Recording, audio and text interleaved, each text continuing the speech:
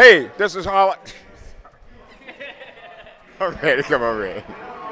Hey, what's up, players? This is WWE Hall of Famer Teddy Long, and I just want you to know that you're watching the Jeffrey Show live, and that's real talk, players.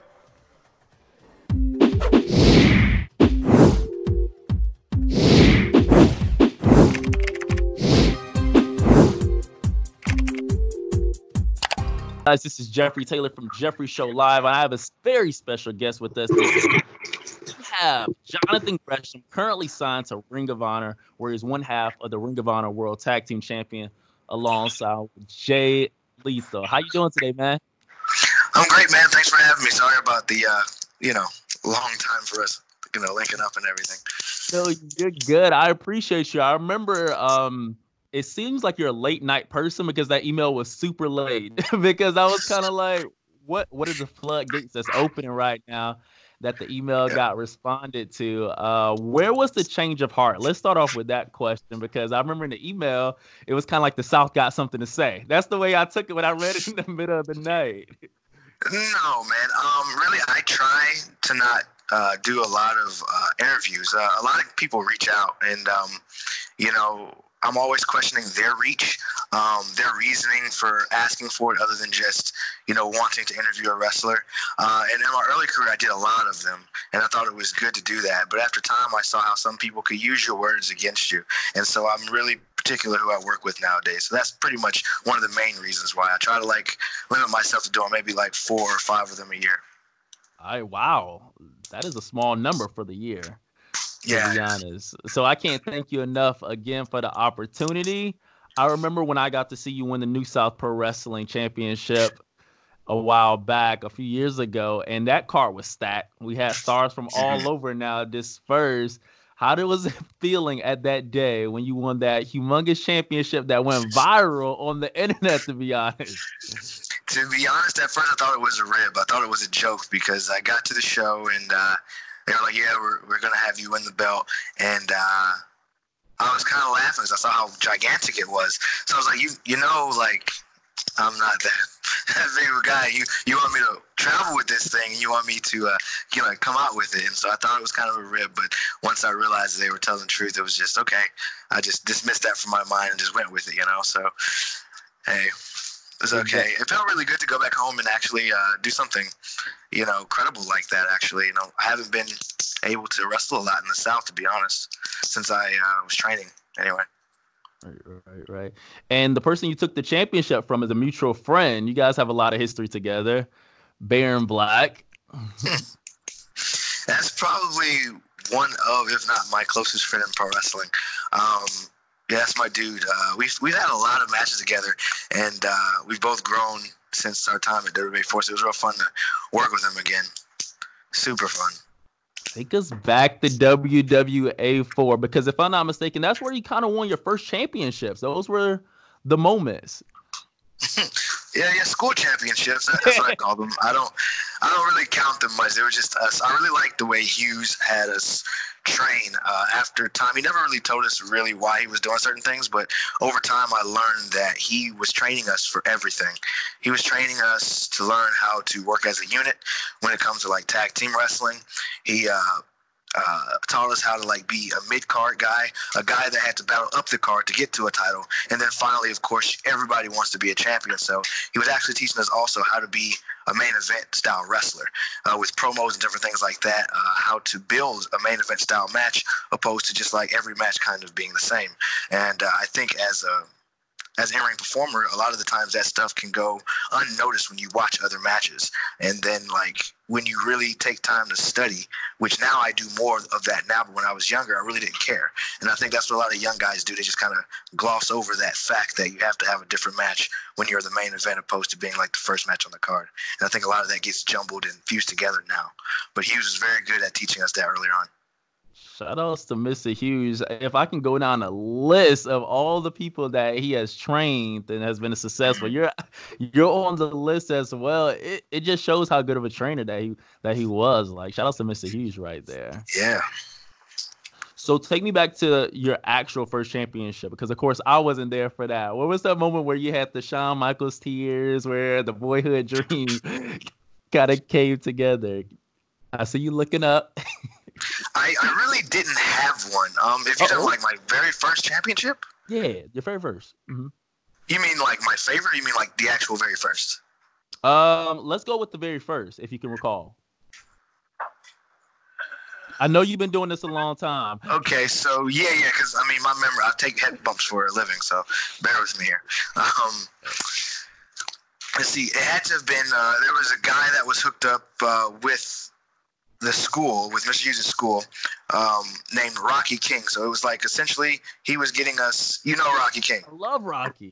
right, right, right. He was a really good dude, really good dude. Um, he was running shows. I think it was called BWA. I forget what it stood for, but we normally did matches in uh, Douglasville, Georgia, okay. and sometimes we would do some near Greenbrier Mall uh, every blue moon. And I think for him, I I don't think he even had titles. I think I came across a replica WCW United States belt, and I think. I took it to him and was like, "Hey, man, use this for a championship." And because it was mine, he was like, forget it, you're gonna win it. And I was like, okay. I forget who I wrestled against, but I think that was my first belt. And I think they called that like the BWA Cruiserweight title or something maybe.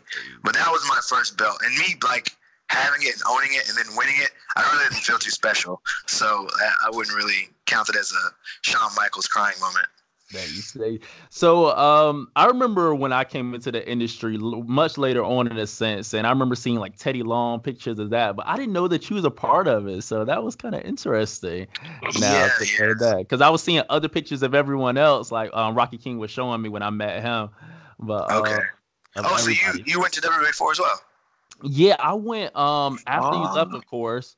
But um, so I didn't get to see everyone for the most part. I came in at like 2016, 2017. Oh yeah, I was gone then. Yeah, you were gone. So um, but but everybody was on the wall and everybody was still being talked about on the internet. So it was kind of like this moment being in there. It's kind of like, oh, Jonathan Gresham used to be here. Like it was just a moment in a sense. But you did mention a favorite, and now it got me curious to be honest. Like, what is your What's favorite that? championship win? I can't lie. Um, to me, it, it would probably have to be the zero one championship when I won it in Japan, the um, Tenkaichi Junior tournament. Um, that was really big to me because uh, first of all, I was the first foreigner to win it, um, and I was able to fight or wrestle with one of my favorite wrestlers, Ikuto Hidaka. So, like to me, I think that was the biggest moment. And I actually had my Shawn Michaels moment in the middle of the dojo when oh. I think we were all training and everybody had went. And Nakamura-san, which was the um, the guy that was actually bringing me over, the owner at the time, asked me to stay after training, and I stayed after training with um, with Hidaka and everyone. And then afterwards, uh, I think Jordan Devlin was there at the time, wow. and Sean Maxer. He was wrestling. He still wrestles there to this day. They came in the dojo and was like, "Hey, Gresh, something's going on. We need to like." We need to have you come in the office and talk to us about it. I forget what the rib was, but they had me come in, and I was so nervous because like everyone speaks Japanese, and like I didn't understand it, so I could have done anything at this point. And so I'm walking in the office, and then uh, Nakamura's sitting in the back, and uh, they started talking, and then they finally started bringing up something I forget what it was, but essentially it was like I'm about to be in trouble, and then they were like, "You're winning the Tenkaichi Junior tournament," and I just remember like being so shocked, and then just like having to hold back tears because it was just like I always wanted to wrestle for the company and wrestle with right. the guys that are in the company, and then for them to say, "Hey, yo, we think that." you're the one to do this. You know, it was it was huge for me. So um, wow. yeah, I was actually able to share that moment with Sean and um, Jordan. So that was pretty cool. I love that. I love that right there. You mentioned Japan, and you mm. definitely wrestle all over. Can you kind of name out a few of the places outside of the country that you work for? You doesn't have to be all of them, but just popping them out because you wrestled all over the country. Um, outside the country, not really right, right, right. I've wrestled more, I think, outside of the country than I have yeah, here. Um, uh, Germany, of course, England, of course, uh, Luxembourg, France. Um, where's some other European countries? They're not coming to mind right now, but um, Taiwan, uh, Hong Kong, uh, Japan, of course, and Mexico. I already named France. Yeah, trying to think of some more. Oh yeah, Ireland too. Ireland. Scotland, yeah. Well, all over the UK. Uh, no, I just had a long layover there. but yeah, uh, quite a few places. Some of them escaped me, but um, my favorite was definitely like Hong Kong and Taiwan, though. Really fun. I've heard France being mentioned more than once. Mm-hmm. Well, I lived there for about two years, so years. Yeah, yeah, yeah. Anything you can spit back at us in French or anything? Um, je parle un petit peu français. okay. uh, no, like um, I I didn't like learn French the proper way. I learned like being forced into it. So it's one of those things where like if you don't use it, you lose it. Come back home, and I couldn't really find any friends that really spoke it. Everybody spoke like Spanish or something like that. So mm-hmm. it was one of those things I could practice. Oh, Spanish though? Are you doing in Spanish as well? No. Okay. No, no. I thought that's one of the things that would uh rubbed off as well. This time, when you go back to visit Paris, uh, will you be staying for two years? I would assume not. But, uh, no, no. you know, it sounds like you you wouldn't want to do that. I mean, I would definitely like to stay and catch up with a couple of buddies. I think I have something lined up to hang out with like two or three friends. Not two years. Um, yeah, not for years though. Just a couple of days. A couple not of days. Yeah, yeah. That but, time's over the octopus that's that's currently going on right now, which the entrance is crazy no matter where I see it. How personally from your mouth, how did it all come together? Okay, so this character that, that I have, um, unfortunately, I have been messing around with it since about 2015. I went oh. to Mexico uh, and uh, I knew I wanted to do the octopus persona. And uh, i thought to myself well mexico is probably the best place to like start this because they got like crazy gear makers. So i had um, a gear maker create the first set of gear which looks similar but not really the same. It was more cartoony at the time. Mm. uh, but i was striving and i did it for maybe a couple of months. I remember i took the, the look to germany and stuff and people really liked it. But i wasn't happy with it because it didn't look realistic. I had envisioned like a more realistic like look of the mask right and uh, it took me a while, so I ended up selling that mask to a couple of fans in Germany. And whenever I go back, they always bring it, and they want me to use it for that event. So I think um, for the tag league tournament, mm-hmm. I used the mask when I was there for the time before when Chris Brookes and I wrestled with each other for the for the tag gimmick. But um, it took me a while to actually find a latex mask maker, um, which I found them. What's this year? At the middle middle of the beginning of last year. Wow. That was like so I had the whole persona like for a long time and I wanted to use it, but I couldn't really push through with it until I found the right look. So I actually found the guys and they would actually be able to make the match for me and like here we are. But I've been holding on to it since 2015, the idea. I will say that it looks very realistic now. now, like the details. It's what I wanted for sure. How it That's came together. How how does that go along with your your personality in a sense? Sometimes people pride themselves in the industry as being a perfectionist, or how could you characterize yourself like determined or driven? Like because you didn't give up, you got what you wanted. You was very precise. You had the vision. What kind of like characteristics uh, does that describe Jonathan Gresham as? Hmm, I think very driven. Um, very selective as well because like I had a lot of people say they can make it, and then I would ask them the materials they were going to use. They kind of mentioned what they're going to use, and I tried to explain what I wanted, but they didn't really get what I wanted uh, or what I was looking for. So uh, definitely very driven and very selective, I think. Nice, nice, nice. In a sense of that is that I personally don't ever see you in a in a in the press negatively. Why do you think that is so? Because it's kind of like sometimes that can be misconstrued as um, people not getting it right. Maybe it can go left, or you know how fans try and create things up. Why do you think that you and so many other people stay in the press negatively sometimes? Like, what's the secret? how do you stay so unproblematic? well, I think for the most part, I try to keep my personal life at bay because I feel like that's not the interesting part. I mean, well, I can talk about personal life now. I literally come home, I watch a lot of Netflix, and I play a lot of video games. Um, and if I told people that on social media all the time, I'm just a boring dude, you know. Uh, so, like, I just try to like keep my personality where it's interesting. I love to watch wrestling. I love to train in wrestling, which I think everybody already understands about me. So, like, there's not really much more to know. Um, and staying out of I don't know negative press. I don't really know.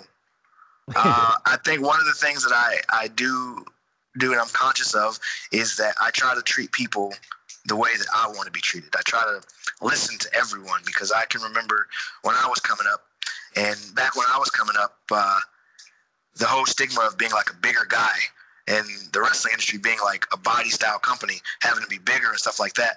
Um, that was really projected loudly around me and on me. And so I never want anybody else to feel like less than or, you know, ignored or anything like that because oftentimes that was the way I felt and how I was treated. So like I really stay conscious of that. So I try to like talk to everybody, whether it's fans, wrestlers, promoters. I just try to treat them the way that I want to be treated. And I think that's probably one of the reasons possibly. That's the key. I can definitely see that. I can definitely see that. Um, of course, I can always read online, but I like talking directly because you, there's a lot of things that you read. But out of your mouth, you mentioned um, the bigger, smaller man. Of course, I just thought of Rey Mysterio. But who are some of your influencers? Get into the out of your mouth. Um, to be honest, um, I don't know. Like I really don't have any like influences when it comes to size. Like of course Rey Mysterio, I connected with him early on when I was watching wrestling. But I couldn't really tell you. I just I was always a wrestler. So when it comes to sizes and weight classes, like I when in my weight class, I was I was never a small guy. Right. So me being small, I really didn't notice that I was really small to everybody until I started pro wrestling and that whole crap was pushed on me about being a bigger guy, heavyweights and all this stuff. So then I was like, oh, so there is a difference. I am different. And then I started to realize just how how much shorter I am than a lot of people. And then I started to realize, well, I'm going to have to use this to my advantage here. What can I do? And to me, pro wrestling is always should always be about story first. So I thought to myself, well, then let me just create a story around my size, and then you know the rest is history. To be honest, so, I go along. I sorry about that. What was that? Oh no! Oh, just influence. I, I'll just have to say me. I guess. Like I don't know. I just inspired myself to to be better. I love it. Oh yeah, I like that. but I do want to go back to. I must admit, Jonathan. Um, I feel like I'm fairly new to your career in a sense of probably four years for me personally, where I've really been following like consecutively since about 2016. That's when I really got into the independent scene heavy, and um, I turned off from the main, which which everybody watches every single week, and start going to the shows and start like, oh, there's this underground world. So my point of this is that I've never really seen you as anything other than being a fan favorite, a good guy, as we like to say. Do you think? Well, I guess you've probably already done it before sometimes in your career, but I guess which one do you like more? And do you find people like myself shocked when you are sometimes on the opposing side of being a good guy? Because I, I can't see myself not cheering for you, but at the Atlanta show, I found myself seeing you do things during the match. You're like, why is he doing this? Like, why is he like it was it just didn't make sense for me after following for so many years. mm. I think I think also uh, with that is my stature. Like a, a smaller competitor, I think a lot of the times there is difficult to feed into them being like a heel character or a bad guy. You know, definitely in there with bigger guys. Um, but I enjoy being a heel more. I fell in love with it more so when I was working with Chris Brookes in England uh, and in Germany doing the CCK persona. And uh, I like just, I don't know, the vibe of being a bad guy, being able to like come up with like cheeky and sneaky little ways to do things and, you know, distract the referee. Being a master manipulator is what I like to call it. And uh, it's really fun coming up with ideas to like make everything make sense you know um, and i'm a big fan of that of course it's to me wrestling always comes back to storytelling so and that I could definitely see like the little sneakiness was involved in the match that I'm referring to because I was like there were certain things that didn't make me full blown go boo and everything. There were just mm-hmm. moments that had me confused and kind of like, yo, I don't think that I should be rooting for this guy anymore if he's gonna do certain things. So it wasn't like a, a full like low blow or throw. Right, it was right. kind of like there was just moments where the psychology was kind of like uh, making me mm. tilt my head a little bit. I think I think one of the most important things to do with like changing into something in pro wrestling or any any story really is a gradual kind of change. Everyone shouldn't be like straight to like a low blow. I think that's like towards the end when you really need it, you know. Um, but like being a master manipulator and manipulating others, people around you, I think that speaks volumes about one's character. Nice, nice, nice, nice. You're from Atlanta, ATL. What's some of the hot spots in Atlanta that you that you uh, that that's come off from you? I know Atlanta has changed. A lot of people call it the new Atlanta. What's some of the mm-hmm. hot spots in Atlanta for you? Um, let's make it a little bit more specific, food wise. If somebody's trying to come to Atlanta, you know, um, I'm a huge. I, am sorry. I saw you do the deep side. I was kind of, you have been across the world. You probably, hopefully, you can still remember. now, now, when you talk about Georgia and the South and Atlanta, I don't. I feel like anybody that's from there understands that we're talking about Southern food, unhealthy food. Um, so, like for me, my big thing when I was younger was um, hopefully you can remember this, but WK Wings. Whoa, that is a throwback. I don't uh, think they're around anymore. I don't. But, not to my knowledge. no, that was that was my joint though. I would I would hit up WK Wings whenever I I got the feeling for lemon pepper wings. You know, so no no place in the world make lemon pepper like Atlanta. Lemon pepper wings like Atlanta. Well, the culture. What about activity wise? Uh, were you a cascade skating? Did you go skating? Was, Did you know uh, how to skate? Decatur family, Decatur family skate was where I went when I was younger. I mean, I'm pretty sure you remember those days. Do you? Was that around Atlanta? Nah, yeah. I heard no, about. Okay, it's a that lot. Was, that was back in the day. It's a lot on social media, but like I miss this the, the old Atlanta, this new Atlanta. Just the, was was Freaknik around with you? I know they're trying to make a comeback. Was Freaknik? Yes, around? I actually I actually remember Freaknik because I lived in the Grant Park area, uh, but I went to school in DeKalb County. Um, but I remember oftentimes, like when I was younger, I'd go ride my bike. I did that for exercise all the time, ride my bike. And I just remember around the time they were trying to bring it back, Freaknik, and it came to like the Grant Park area a little bit. And I can just remember like uh, getting ready to cross the street, and a car would just like pull through and take a right turn, and there's just women in the in the back of the bed just shaking their butts, and guys just like pouring beer and everything. It was just wild, man. You know, um, it's when like I was younger, always I thought it would be. Yeah, yeah, yeah, yeah, yeah. yeah, for sure. Oh man. Beginning back to wrestling in a sense is how is it partnering with Jay Lethal to be honest? Jay Lethal is definitely respected. It's Black History Month.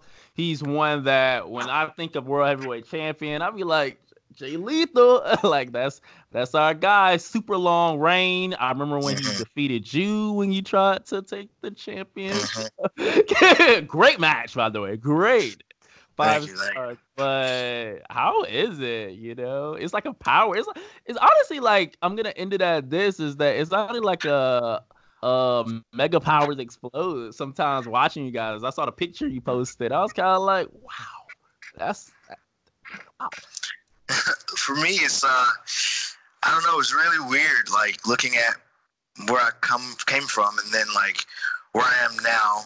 Um, it's, it's really big for me because like just sitting talking to him, learning from him. I don't know if he he sees it like that, but just like listening to his point of view on matches and different things like that, and being close enough to watch him do promos. I'm around when he does promos now all the time, and uh, just listening to the way he thinks about stuff. It just it, it makes me a better wrestler uh, in my mind. Um, I think I've gotten loads better since being around him, and I'm, I'm happy that like uh, we gravitated towards each other that way um, to be like partners now in tagging. So uh, I look at him as being the best in the world, and I learned from him back then, and I'm learning from him today. So um, you know, he's definitely a role model for me and a lot of people like me. You guys are teammates right now, but can we get another match one day? I mean, can we get another? I don't know. right now, right now, right now, we got a plan. We gotta, we gotta restore that honor, man. We gotta restore that so, honor. Yeah. Speaking speaking of Ring of Honor, that is exactly what's happening. Um, I know that you're not oblivion to it. I don't like to be dumbfounded with people, but we saw the press that Ring of Honor got in 2019 towards the end and everything. So when you say restoring the honor, um, there's a lot that Ring of Honor is just doing, in my opinion, right. Um, the the free enterprise show. Um, all my friends was kind of up there, and they were sending me pictures and telling about it. They was kind of like, "Oh snap!" and all this that was going on, great matches. So I think that you as a trainer, how has that been? That is what I want to allude to, restoring the honor. You as a trainer, because you all be going in. You guys be putting in the work. yeah. Um. For me, um, I've always wanted to be a trainer. Once I got to the point where I thought like I viewed wrestling differently from a lot of other people, and uh, at one point I thought I was just feeling myself, and I was like, well. Pipe down, John. Maybe you know you don't. But then I started like training more places. People started booking me to do more seminars all around, and I started talking to some of the younger guys coming up in wrestling. And I realized that like, you know, a lot of people. I think of wrestling like mixed martial arts, like music almost. I call it like genres of wrestling. And I feel like there's one genre of wrestling that reigns supreme now, and I call it like the hybrid style of professional wrestling, where everybody kind of does a little bit of everything. And um, I'm I'm now guilty of it too because of keeping up with the Joneses and trying to keep a job or whatever. But I'm a firm believer in like uh, having a variety show. I don't right. feel like every show should, from top to bottom, feel the same. Um, and uh, now that I am training, I try to teach that to anybody that's going to really listen to me or wants to be trained by me or train with me. Um, that like there's different styles of wrestling. And if i can explain for a moment i look back at old ring of honor and i find ring of honor to be um, one of the companies or the company that influenced me the most because it's what when i realized that wrestling was more so like mixed martial arts and mixed martial arts you have like karate, jiu-jitsu, you know, Muay Thai, kickboxing, all these different styles, sambo. And in professional wrestling, you have like the brawler, the technician, the British style technician, uh, vintage lucha libre versus what they do now. Like there's so many different styles of professional wrestling that I feel like aren't represented in today's climate. And to me, it's sad. You know, there's a lot of uh, maestros in Mexico that that genre of wrestling, that maestro style of wrestling, uh, God forbid, but it might die with them. And is there anybody to continue to teach it besides the videotapes that we have? But when you think about studying tape, a lot of the young guys now are just studying current New Japan and what's on WWE and NXT. So we're just getting recycled stuff over and over again. You're not getting anybody truly, honestly thinking for themselves anymore. You're just getting new robots trying to act like Prince Devitt and Johnny Gargano and guys like that. So, like, I really want to help people look at the other side of wrestling and see what else is out there. So for me, the foundation gimmick is it's a gimmick, but it's also pretty real for me.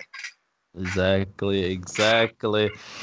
Eh, wow, that was heavy to be honest, man. Because it's something that I can relate to, but I think that being on the other side, I think that it's important to know your role in this industry. I had a, a, talk with some of the other wrestlers, and I think that respect is one of the biggest things. You know, being able to mm. talk to oh, you sure. all and get perspective, and just knowing where to go in wrestling, I think that there was a point at Ring of Honor when that controversy happened on what how far fans should go to, towards the barricades, and sometimes with that, mm. um, shit, certain people be in locker rooms and all things. But it's kind of like respecting what the um what the wrestlers and the athletes do in a sense. So it's kind of like I love to get you all perspectives because we watch it, but you guys are actually in the ring. So just hearing it, it's kind of like, oh, I want this, but I don't want to just keep tweeting it because it's kind of like I appreciate what's being given as well at all times. So it's also a tremendous amount of respect when you know things are changing. You know, ultimately because it starts with the training. To be honest, if somebody's breaking it down and, and yeah, I, I think I think a lot of wrestling today, and this is of course what I think. This isn't the gospel. I'm not saying it is, but I think a lot of wrestling today is booked via Twitter. I'm, I'm, a, I'm a firm believer in that. Is uh, the fans have a little more power than they think, um, and a lot of times that's good and that's bad. Uh, but the good is when wrestler A is working his butt off and not getting rewarded for it. And the fans can see it. and sometimes the fans, I like to call it, sometimes they get on a bandwagon and they can actually push that person through to get something more than they would have if they didn't. So I think, in a sense of having fans that understand their power instead of abusing it, you know, I think mm-hmm. I think that's key. You know what I mean? Definitely when it comes to social media. Exactly, exactly. I agree. I agree. To be honest, uh, social media. Uh, are you a fan of it? Not really. yeah, I can see it. I mean, my for me, I grew up in a time where I didn't have cell phones. Like uh, I'm a millennial, I think, right? Twenty. I mean, thirty-one. Yeah, you're a millennial. Okay, so I'm a millennial, but I'm not like some of the other millennials that are around that like didn't have the opportunity to grow up without like a device in their hands. Right. Like I remember playing with sticks and being outside, and like I remember mom saying, you know, when the lights come on, that's when you come inside. I'm not sure if a lot of millennials can remember that. You know, uh, there's a lot of us that can't. So like, um, uh, for me, I can survive without social media, and it's really difficult for me to. I'm learning, definitely because of my wife. I'm learning how to use it better. You know, um, so uh, it's a work in progress for me. Yeah, because um, similar to how you were saying seminars, there are social media seminars as well. Um, in addition to the to the wrestling seminars, how to conduct yourself on social media. yeah, I, I really think uh, promotions, definitely bigger promotions, should really like get these people to come in and speak to their wrestlers about social media, how to interact with fans. Um, you know, when to post, when not to post, what kind of stuff to say and what not to say, because one bad tweet can kind of cancel you sometimes now. Like, Just takes one. Like just takes one. Like yeah. literally. it's, it's sad. It's almost like you can't make a mistake now, and it's really sad, you know. Mm-hmm. Cancel culture. Mm. Cancel culture right now. It's Black History Month, Jonathan Gresham. I want to get to that. I'm so glad, and that was another reason why I also want the um was kind of like, oh, this is perfect and everything because I feel like it just doesn't stop during this month. To be honest, it, it really should to get that that spotlight, but that energy should be continued throughout the entire year in a sense.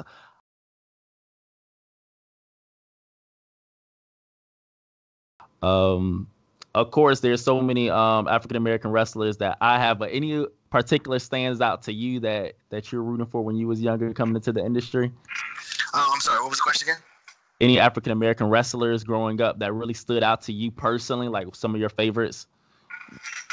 Um, coming up, uh, you know, I think it was a little bit later when I was a little bit older, but I always felt like Shelton Benjamin was going to be world champion, and I just. I remember watching him and I was like, "Oh man, I can't wait till he freaking wins the world title," um, you know. And um, yeah, that was to me. Shelton Benjamin was my guy because like I had an amateur background too, so him coming from that as well, like I I gravitated towards him more. You know, the whole storyline with Kurt Angle and stuff, because Kurt Angle is one of my favorite wrestlers as well. Yeah. Um, so like I don't know, I just gravitated towards him, and I just I pegged him as next world champ. You know what I mean? So. Yes. Yeah. People are still outraged about that on social media. In a I sense. bet. I bet. I bet. Still, I, I mean, it's not too late though. It's not too late. It's not too late, right? It's never too late. It's never exactly. too late. And it goes back to um, with social media is that sometimes it could cancel you one bad thing, but I feel like social media has kind of influenced some things too massively as well. Mm. I remember saying the booking wise, like oh yeah, I feel like the one of the moments that was highlighted last year was social media hashtag. They had a hashtag going, and then oh, it was really yeah, and um, they created a champion right before our eyes. Um, being a, a, trainer, how do you feel being someone's inspiration? As I, as you just mentioned, Shelton Benjamin, people are already saying that. I remember you talking about inspirations a little bit earlier. How does that make you feel now, giving back physically, but as well as Black History Month projects being about you and everything in the future? How does how does that make you feel, man? Um, to be honest, man, I, I never, I never, I've never noticed it. I've always just kind of like kept my head down and I was thinking about accomplish this, accomplish this, accomplish this. I'm one of those guys that rarely like looks up to smell the roses and really take stuff in. And I've, I've promised myself it was a new part of my New Year's resolution was to really like start taking in the places I've gone and the people that I meet and the things that I'm doing and really enjoy it before you know because I'm 31 now. 15 years of my career has passed and like I'm not sure how much longer I have. So I'm really having to like take things in. So when now younger guys come to me and they talk to me about like you know what they've learned from me or like if they're inspired by me with something. Um, I don't know. Uh, it's it's a great feeling to to be that to some people, and um, I don't know. I just want to continue to spread positive energy in wrestling and in the world, you know. And I feel like that's what's helped me get here because I mean, oof, I I never imagined I'd be doing the things that I'm doing now. So just want to keep that positive energy going, man. I love it. I really appreciate you taking the time out, Jonathan Gresham. Been knowing you for a few years now, but there's a few more things I want to get from you. You have Doug Williams, past versus present. How does that? Because a lot of people, um, when you got re-signed, I know for me, I had to go back and do research that you've been in Ring of Honor before. Um, the big resign that they announced. I was kind of like, wow, like he was in there years prior, so it was like more so of a return, a big return. Um, Doug Williams, this man name speaks for itself. This match yeah. when it was announced, past, present. yeah, I uh, I'm, I'm, excited about it. I remember not too long ago. It was right before I think Doug announced his retirement. Somebody had asked me online, maybe, uh, who did I want to wrestle that I haven't wrestled yet? And I've been blessed enough to wrestle everyone that I've really ever wanted, like truly, honestly, ever wanted to wrestle. I got a chance to wrestle them. Um, outside of, of course, Bryan Danielson and Doug Williams. So Doug Williams was uh, another guy that I wanted to wrestle, and I said that, and then a promoter tried to book it, and then I think Doug messaged him and was like, "Well, I'm retiring soon," and soon after that, I think he did progress and he um, he announced his retirement. Uh, so I mean, for me, it's a big deal. You know, uh, this is one of those moments I spoke to you about earlier, where I'm going to like take time to really take in the moment. You know, take in meeting the guy. Uh, I've met him several times before, but on this level, to be a little more personal because we'll be working together. Uh, but really soak in that moment and really appreciate it. You know, so I'm really looking forward to doing that. I can't wait to see that one. And another opponent that I want to say to wrap things up is someone that I'm familiar from with the W4 and just Atlanta, I saw like literally one of my first matches in the independent wrestling scene was from Fred Yehi. So oh. when that was announced in Tampa, Florida, come April 2nd, I was like, this match has probably happened before, but I gotta see it for myself in person because I'm a big Fred Yehi fan. Uh, I am too. I am too. Wow, like what? what is this? Um, What's your thoughts on that match coming up April? Fred's an interesting guy. He's uh, I don't want to say too much, but he's uh, very um, he's a very quiet guy, very to himself. Um, I respect him a lot. His his thought process towards wrestling, the way he sees things, I really like it because uh, I think we have like uh, contrasting styles. Like we we're similar, but we're different as well. And I like the the meetings that we've had. We've had a lot of matches I enjoyed a lot of, and I'm really looking forward to this one. And I really hope that this will bring more eyes to Fred Yehi. Uh, I feel like he's he should be signed already somewhere.